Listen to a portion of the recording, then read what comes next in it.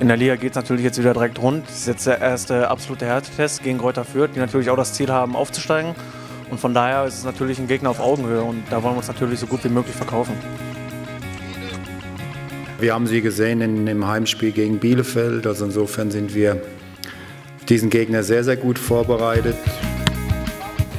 Also ich denke, dass Kräuter Fürth eine sehr ausgeglichene Mannschaft hat, die sowohl junge, entwicklungsfähige Spieler hat, als auch ähm, erfahrene Spieler wie Goran Schukalo.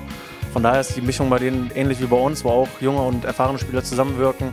Und nichtsdestotrotz hoffe ich natürlich, dass wir das Spiel für uns entscheiden.